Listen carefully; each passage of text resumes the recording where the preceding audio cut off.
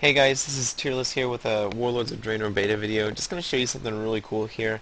I'm in the Gnomish Gearworks inside your garrison, and you get a kind of special, you know, ability that you can use each day, a, a kind of device that you can use. And today, they have the Nuclear Target Painter. So I want to kind of take this out here and show you this. It is a one-use ability. Well, it's supposed to be an hour cooldown. Right now, it's only one use. Um, so I'm just going to take it out here so you guys can see what it looks like. Uh, I just tried it uh, a little bit ago on a different character and it was absolutely hilarious. So I'm going to take it out here so that you can see what it looks like.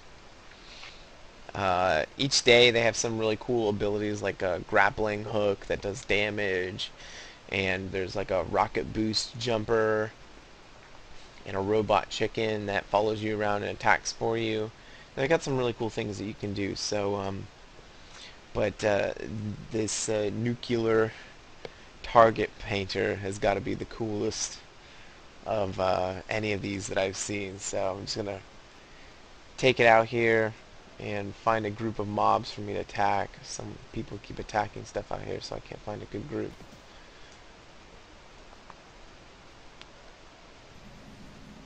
I am currently on the PvE server, which is pretty much just garrisons testing, so please don't dismount me.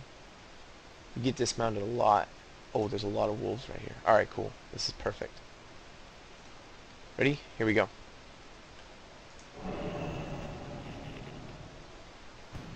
Nuclear launch detected.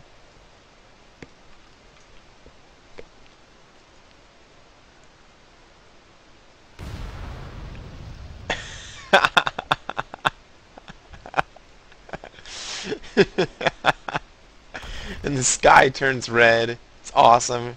If you saw there was a million damage done on one of those mobs, um, that's quite significant. So that's a pretty cool change that they've got for this game. Uh, it'll be fun to use. So just wanted to show you guys the nuclear launcher that they have. Um, it's going to be a lot of fun to use. I'll see you guys later. Tierlis out.